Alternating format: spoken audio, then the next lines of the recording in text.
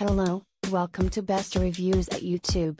This item has a rating of 5.0 out of 5 stars.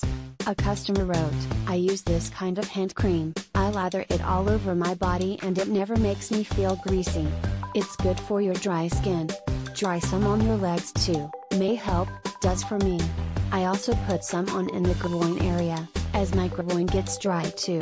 It's a great overall cream. Thank you for watching. Please give the thumbs up.